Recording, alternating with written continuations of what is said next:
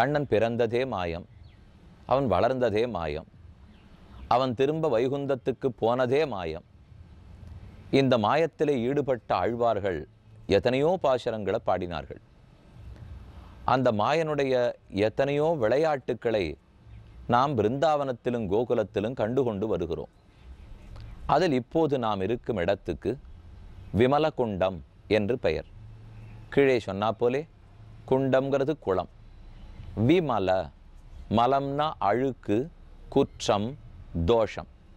விமலம் அழுக்கில்லாதது. விமலன்னு பேர் உண்டு. விமலான்னு பேர் வைக்கிறார்கள். அப்படின்னா குற்றமற்றவர் குற்றமற்றவள் என்று பொருள்.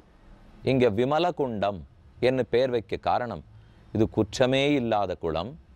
அதோடல்ல இக்குளத்தில் இறங்கி நீராடினோம் என்றால் நம்முடைய குற்றங்கள் தோஷங்கள் அத்தனையும் போக்கிவிடும். அனாதிகாலமான பாபங்களை போக்கிவிடக்கூடிய குளம் விமல குண்டம் பாபமே அற்ற குளம் விமல குண்டம் அதனாலே இந்த குண்டத்தை சேவித்து கொண்டாலோ இதனுடைய தண்ணீரை எடுத்து குடித்தாலோ இதன் கரையிலே நின்று இதை கண்டாலோ தரிசித்தாலோ இதில் இறங்கி ஆனந்தமாக நீராடினாலோ எல்லாமே நமக்கு கிருஷ்ணானுகிரகத்தை பெற்றுக் கொடுக்கும். இந்த விமலகுண்டம் காமியவனம்ங்கிற இடத்தில் உள்ளது. இட்டமான பசுக்களை இனிதிமறுத்தி நீரூட்டி விட்டுக்கொண்டு விளையாடும். இது ஒரு அழகான பாசுரம். பகவான் எல்லா பசுமாடு கன்றர்களையும் அழைத்து கொண்டு ஊர் ஊராக ஓரோரிடமா விரஜபூமியில் போகிறான். மாடு கன்றுகளுக்கு தண்ணீர் தாகம் எடுக்கிறது. அப்போது அவற்றுக்கு தண்ணீர் காட்ட வேண்டும். அப்போதுதான் இந்த குளத்துக்கு வந்தானாம். காமியவனத்தில் இருக்கிற விமல குண்டத்துக்கு ஆயிரக்கணக்கான மாடு கன்றுகளை கூட்டி கொண்டு வந்து அவற்றை குனிந்து தண்ணீர் கொடுக்க கற்றுக் கொடுத்தான். அப்போ கண்ணன்தான் மாடுகன்றுகளை அழைத்து வந்து தண்ணீர் குடிக்க கற்றுக் கொடுத்தான். எதே போல ஓர் ஆச்சாரியன் குரு நம்ம போன்ற எளிய மக்களை தண்ணீர் குடிக்கிறா போல பிரம்மானுபவத்தில் ஈடுபடுத்துகிறார். இப்போ கண்ணனை பற்றி கேட்டல் கண்ணனை பற்றி அனுபவித்தல் கண்ணனை தரிசித்தல் இதெல்லாம் தண்ணீர் குடிக்கிறாப்புல ஷோருண்கிறாப்புல சுகத்தை அனுபவிக்கிறாப்புலேன்னு வச்சுங்கோ. அதை நம்மால் நேர போய் அனுபவிச்சிட முடியாது. அதுக்கு வ வழிகாட்ட ஒரு மார்க்க தரிசி வென்று கொல்லியோ இப்போ கண்ணன் தான் கீதாச்சாரியன். அவர் தான் மாடுகன்றுகளை இந்த மார்க்கத்தில் அழைச்சின்னு போய் தண்ணீர் குடிக்க வைத்தார். அதே போல நம்முடைய வாழ்க்கையிலேயும் நாம் இறைவனை அனுபவிக்க வேணும் அவரோட தொடர்பு வேணும் என்று ஆசைப்பட்டால் நமக்கு இருக்கிற குறைவான அறிவுக்கு அது கிட்டாது. அதற்காகத்தான் ஒரு குருவை போய் பிடிக்கிறோம்.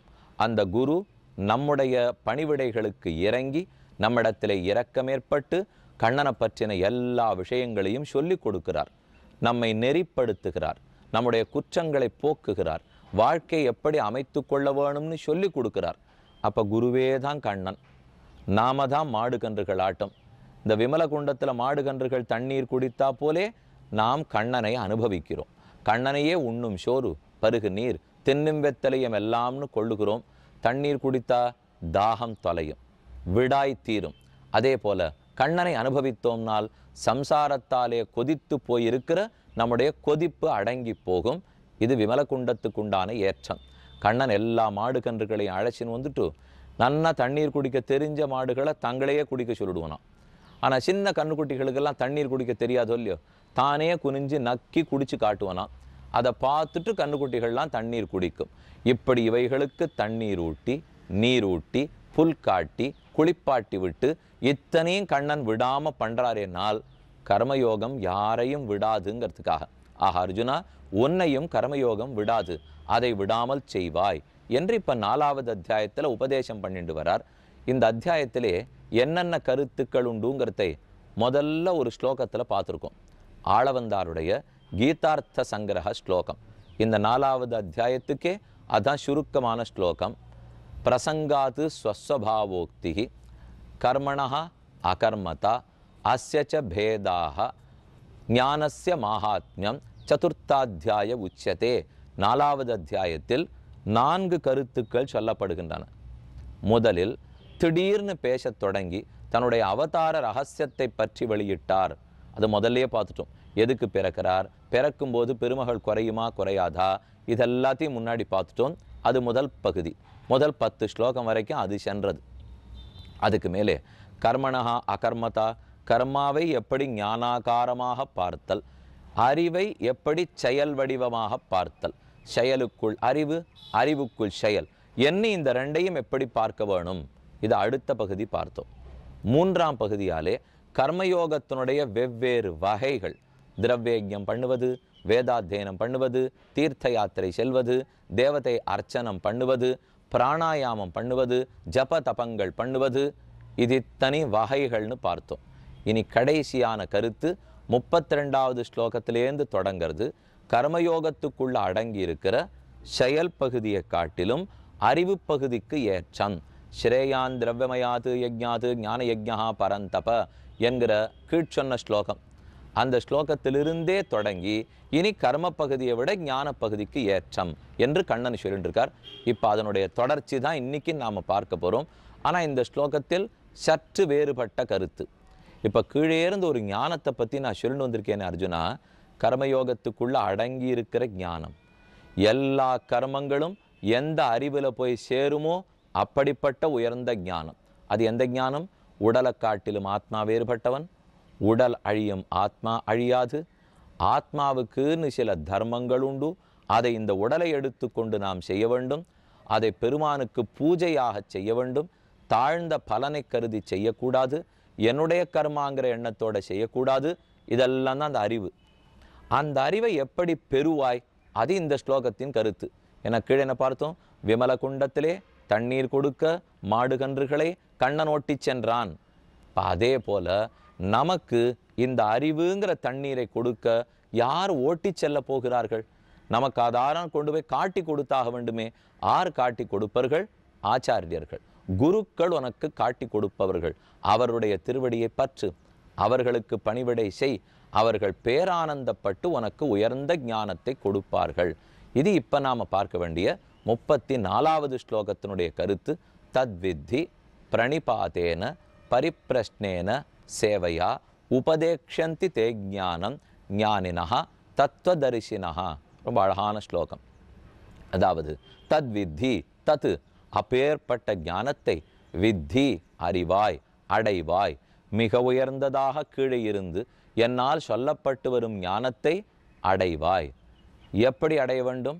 பிரணிபாத்தேன பரிப்பிரஷ்னேன சேவையா தத்வித்தி பிரணிபாத்தேன விழுந்து நமஸ்கரிப்பதன் மூலம்। பரிப்பிரஷ்னேன கேள்வி கேட்டு பொருளை தெரிந்து கொள்ளுவதன் மூலம்। சேவையா பணிவிடை செய்வதின் மூலம்। இதெல்லாம் ஆருக்கு? கண்ணன் தன்னை பற்றி சொல்லிக்கலே. ஆச்சாரியர்கள் குருக்களிடத்தில் போ அவர்களை விழுந்து வணங்கு. பிரணிபாத்தேன பரிப்பிரஷ்னேன அவர்களிடத்தில் உன்னுடைய ஐயப்பாடுகள்லாம் கேட்டுக்கோ. கேள்வி கேட்டுதல். சேவையா? வெறும கேண்டு வந்துடாதே அவர்களுக்கு பணிவிடை புரிந்து கேட்டுக்கொண்டு வா. ஆ பிரணிபாத்தேன பரிப்பிரஷ்னேன சேவையா? இப்படி நீ செய்தாயென்னால் உபதேக்ஷந்தி தே ஞானம். ஞானினஹா தத்துவதரிசினஹா. தத்துவதரிசினஹா ஞானினஹா. தத்துவங்கிறது கண்ணனை குறிக்கும் இறைவனை குறிக்கும். தத்துவ தரிசனம் இறைவனை உள்ளபடி காண்கை உணருகை. தத்துவ தரிசிகள் இறைவனை உள்ளபடி உணர்ந்தவர்கள். பரமாத்ம ஞானம் மிக்கவர்கள் தத்துவதரிசினா ஞானினா பரமாத்ம ஞானம் பெற்றவர்களான அறிவாளுகளெல்லாம் தே உனக்கு ஞானம் ஆத்ம விஷயமான அறிவை உபதேக்ஷந்தி உபதேசிப்பர்கள். அப்ப முன்வரியாலே நாம குருக்களிடத்துல எப்படி நடந்துக்கணும்னு சொல்லப்பட்டது. பின்வரியாலே பதிலுக்கு குருக்கள் நம்மிடத்துல எப்படி நடந்து கொள்ளுகிறார்கள்னு சொல்லப்பட்டது. நாம போய் அவர்களை விழுந்து நமஸ்கரித்து பணிவிடை செய்து நம் சந்தேகங்களை கேட்டோம் என்றால் நாம செய்த பணிவிடையாலே உகந்து சந்தோஷப்பட்டு அந்த உயர்ந்த ஞானத்தை தத்துவதரிசிகளான ஆச்சாரியர்கள் சான்றோர்கள் உபதேக்ஷந்தி நமக்கு உபதேசிக்கிறார்கள். அப்போ இந்த குறுக்க ஒரு ஸ்லோகம் இருக்கே இது கர்மயோகத்தை பண்ணு ஞான யோகத்தை விட்டுடு கர்மயோகம் ஏற்றம் அதெல்லாம் சொல்றதுக்கே இந்த ஸ்லோகம் வரலே. இந்த ஸ்லோகம் இந்த உயர்ந்த ஞானத்தை பெறுவதற்கு வழியாது. இதை நீயா தெரிஞ்சுட முடியாது அர்ஜுனா. பிரயத்தனப்பட்ட ஆச்சாரியர்களை சென்று கேட்டுக்கொள். அப்போ நம்ம கொண்டு போய் ஒரு ஆச்சாரியை நிறுத்தி தண்ணி குடிக்க சொன்னால் தான் நம்ம குடிக்க முடியும். இது ஆங்கிலத்தில் ஒரு வழக்கம் உண்டு இல்லையோ? நாம் ஹார்ஸ் குதிரையை கொண்டு போய் தண்ணி இருக்கிற இடத்துல நிறுத்தத்தான் முடியும். ஆனால் குடிக்க வைக்க முடியாதுன்னு சொல்கிறோம் இல்லையோ? அதே போலத்தான் ஆச்சாரியர்களும். உயர்ந்த கண்ணன் இருக்கார் ராமன் இருக்கார். அனுபவிக்கிறதுக்கு அவர் தயார். அனுபவத்தை கொடுக்கறதுக்கு அவர் தயார். நீ வா உன்னை கூட்டின்னு போய் அங்கே நிறுத்துறேன். என்ன நம்மளை கூட்டின்னு போய் நிறுத்திடுவார்கள்? ஆனால் தண்ணி குடிக்க வேண்டியது நம்முடைய வேலை தான் அது அவர்கள் செய்வார்களா? ஆக கண்ணன் எப்படி மாடு கன்றுகளை விமல குண்டத்துக்கு ஓட்டி போய் தண்ணீர் குடிக்க சொன்னானோ அதே போல ஆச்சாரியர்கள் நம்மை அழைத்து போய் ஞானம்ங்கிற தண்ணீரை குடிக்க வைக்கிறார்கள். தத்வித்தி பிரணிபாத்தேன பரிப்பிரஷ்னேன சேவையா? இனி ஸ்லோகத்தினுடைய கருத்தென்னான்னு பார்க்கலாம். பிரணிபாத்தேன விழுந்து நமஸ்கரிப்பதன் மூலம் ஆச்சாரியர்களை கீழே விழுந்து சேவிக்க வேணும். சாஷ்டாங்க பிரணாமம்னு சொல்லுகிறோம். இரண்டு கை இரண்டு கால் தலை. இந்த அஞ்சும் பூமியிலே பட வேண்டும். அதோடு இல்லாமல் இவனுடைய புத்தி அடங்க வேண்டும். மனசு அடங்க வேண்டும். அகங்காரம் அடங்க வேண்டும். விழுந்து சேவிச்சுருக்கிறச்சே மனசு எங்கேயானு சுத்தும் திரியும். அது இல்லாமல் மனசு இங்கே அடங்கணும். புத்தி சொல்லிக் கொடுக்கும். என்னத்துக்கு இவரை விழுந்து சேவிச்சுருக்கோம் இந்த சமயத்தில் வேற ஏதாவது ரெண்டு வியாபாரம் பார்த்தா காசான சம்பாதிக்கலாம். இவரை போய் நமஸ்காரம் பண்ணிருக்குமே இது புத்தி சொல்லும். அகங்காரம் இருக்கும் இல்லையோ? நான் யாரு இவன் என்ன இவனை விழுந்து சேவிக்கிறேனே அப்படின்னு அகங்காரம் சொல்லும். இந்த மூணும் அடங்க வேண்டும். வெறும கை கால் அடங்கி கீழே மட்டும் போகாது பல பேர் கீழே வந்து நமஸ்காரம் பண்ணுன்னா விழுந்துட்டு எழுந்துருவோம். மிஷின் கீழே விழுந்துட்டு எழுந்திருக்காப்புல எழுந்திருப்பா. அப்படி எழுந்திருக்கிறது அர்த்தம் அல்ல இறை அறிவாலே இந்த மகான் நம்மை காட்டிலும் மிக உயர்ந்தவர். ஆகையால் இவரை விழுந்து வணங்கி நாம் பொருளை எடுக்க வேண்டும் விஷயங்களை கிரகித்து கொள்ள வேண்டும். அவரிடத்தில் நல்ல விஷயங்களை கேட்டுக்கணும்னு விழுந்து வணங்குகிறோம். அடுத்தது பரிப்பிரஷ்னேன பரிப்பிரஷ்னம் பிரஷ்னம்னா கேள்வி. பரிப்பிரஷ்னேன நன்றாக கேட்பதால். இந்த இடத்துல பரிப்பிரஷ்ன சொல்லுக்கு ரெண்டு மூணு பொருள்கள் உண்டு. ஒன்று ஒரு ஆச்சாரியனிடத்தில் சிஷ்யன் போய் சீடன் போய் கேட்குறாருன்னு வச்சுங்கோ. அவருக்கு நேர் எதிர்த்தார் போல நின்று கேள்வி கேட்கக்கூடாது. அப்படி கேட்டால் அவருக்கு நாம் சமம்னு ஒரு தப்பான அபிப்பிராயம் நம்ம மனசில் வந்துடும் சரி ஒருவேளை பின்னாடி போய் நின்று கேட்கலாமான்னா ஆச்சாரியனுடைய கண்ணிலிருந்து பார்வையே என் பேரில் விழாது இல்லையோ. அவருடைய கருணை என் பேரில் விழணும். அதனால் அவர் கண்வட்டத்துக்குள்ளே தான் இருக்கணும். மேலும் ஆச்சாரியனை கழுத்தை திரும்ப திரும்ப பார்க்க சொல்லி அவர் கட்டம் கொடுக்கலாமா? அதனால் பின்னாடி நிற்கக்கூடாது நேர் எதிர்த்து நிற்கக்கூடாது பரிசரத்தில் நிற்க வேண்டும். பரிசரத்தில்னா அருகில். அவருடைய குழு பார்வை நம்ம பேரில் படணும். ஆனால் நேர் எதிர்த்தாப்பில் இருந்து சமம்ங்கிற புத்தி வந்துவிடக்கூடாது அந்த மாதிரி இடத்துல நின்று கொண்டு கேட்க வேண்டும். பரிசரத்திலே நின்று பிரஷ்னம் பண்ணுதல் பரிப்பிரஷ்னம். ரெண்டாவது பர்யாப்தம் யதா ததா எதுவரைக்கும் கேட்க வேண்டுமோ அதுவரை கேட்க வேண்டும். நாம் ஆச்சாரியனை பார்த்து கேட்கிறோம். அவர் முதல் தரம் சொன்னது கூட புரிஞ்சு விடலாம் ஒருவேளை புரியலேன்னு வச்சுங்க அப்போ ரெண்டாந்தரமும் கேட்க வேண்டும். புரியலே மூணாந்தரமும் கேட்க வேண்டும். ஆனால் அப்படி கேட்குறச்சே என்ன புரியறாப்புல சொல்கிறதுக்கே உங்களுக்கு தெரியலையே? அப்படின்னு கேட்காமல் அடியேனுக்கு புரிந்து கொள்ளக்கூடிய அளவுக்கு அறிவு போறலே. இன்னொரு தடவை சொல்ல முடியுமா? என்று எனக்கும் புரியற அளவுக்கு விட்டுடக்கூடாது பயந்துண்டு சந்தேகத்தோட வீட்டுக்கு போடக்கூடாது. ஆனால் கேட்கும்போது ஒரு அகங்காரத்தோட கேட்பதும் கூடாது. ஆகையாலே பணிவோடே பரிசரத்தில் இருந்து கேட்டல் பரியாப்தம் எதுவரை கேட்க வேண்டுமோ அதுவரை கேட்டல் பரிசாக்கல்லேன்னு சொல்லுவார்கள். எல்லாவற்றையும் கேட்டு தெரிந்து கொள்ளுதல்.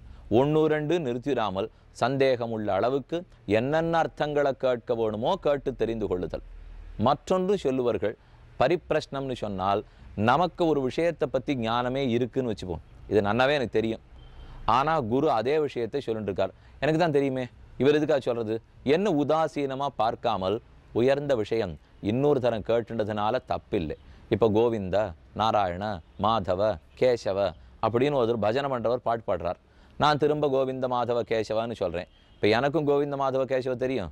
அவருக்கும் கேசவன் கோவிந்தன் மாதவன் தெரியும். ஆனால் அவர் பஜனை பண்ணச்சே திரும்பி தானே சொல்லிட்டு இருக்கேன். சுவாமி இது என்ன தெரிஞ்ச திருநாமத்தையே நீர் என்ன சொல்கிறது நான் என்ன பாடுறது? கேட்க மாட்டோம். இதெல்லாம் புனிதத்தன்மைக்காக பாடப்படுவது. ஆகையால இதிலே எனக்கு தெரியும் அவருக்கு தெரியாதுங்கிற எண்ணத்தோட கேட்காமல் மறைத்து கொண்டு கேட்க வேண்டும். அர்ஜுனனே நாலாவது அத்தியாயம் தொடக்கத்தில் அப்படித்தானே கேட்டான். நீ பிறந்தேன்னு சொல்கிறியே உனக்கும் மேனி உண்டா? உனக்கும் கர்மா உண்டா? உனக்கும் ஜென்மா உண்டான்னு கேட்கணும்னு ஆசை. ஆனால் எப்படி மறைச்சு கேள்வி கேட்டான் பாருங்க. இருபத்தெட்டு சதுர்யுகத்துக்கு முன்னால் விவஸ்வானுக்கு சொன்னேன் அடி எப்படி சாத்தியம்? தானே கேள்வி இருந்தது. அப்புறம் தானே அவதார ரகசியமே பிறந்தது.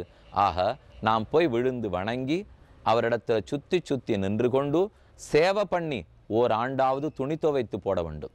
ஆறு மாசமான பட்டினி கிடக்க வேண்டும். அவருக்கு என்னென்ன பணிபட உண்டோ செய்ய வேண்டும். இப்படி செய்தால்தான் ஞானினகா தத்துவதரிசினகா கண்ணனே பேசுறதை காட்டிலும் கண்ணனை உணர்ந்தவர்கள் பேசுவதற்கு ஏற்றம் அதிகம். இந்த ஸ்லோகத்தில் நமக்கு சந்தேகம் வரும். எதுக்கு கண்ணன் போய் இன்னொருத்தர் காலை பிடிச்சு கேட்டுக்கோன்னு சொல்கிறார் இவரே தான் இருக்காரே. எழுநூறு ஸ்லோகம் தானே உபதேசித்தவருக்கு. இந்த ஞானத்தையும் உபதேசிக்க தெரியாதா? ஏன் கண்ணன் மற்றொரு இடத்துல போக சொல்கிறான்னால் நான் முக்கியமில்லை அர்ஜுனா. என்னை பற்றி உண்மையாக யார் தெரிந்து கொண்டார்களோ என்னை பற்றி விதுரன் பேசணும் சஞ்சயன் பேச வேண்டும் பீஷ்மன் பேச வேண்டும் பெரியோர்கள் பேச வேண்டும். அவர்கள் பேசினதை நீ கேட்டுக்கொள். நான் பரமாத்மானு வேற்று சாதியன். நீங்கள் எல்லாரும் ஜீவாத்மாக்கள். ஒருத்தருக்கொருத்தர் பெரியோனை அண்டி கேட்டுக்கொள். என்று உபதேக்ஷந்தி தே ஞானம் ஞானினஹா தத்துவதரிசினஹா என்னை பற்றி உணர்ந்தவர்கள் உனக்கு அந்த ஞானத்தை கொடுப்பார்கள். என்று முப்பத்தி நாலாவது ஸ்லோகத்தாலே தெரிவித்தான். ஆக விமலகுண்டத்துக்கும் நமஸ்கரித்து கண்ணனாலே ஓட்டி வரப்பட்ட பசுமாடு கன்றுகள் அத்தனையும் வளர்ந்து வளர்ந்து இன்றளவும் வாழ்ந்து வருகின்றன. மேல் மேலும் அவை வளர வேண்டும்ங்கிறதை வேண்டிக் கொண்டு மேலே பார்ப்போம்.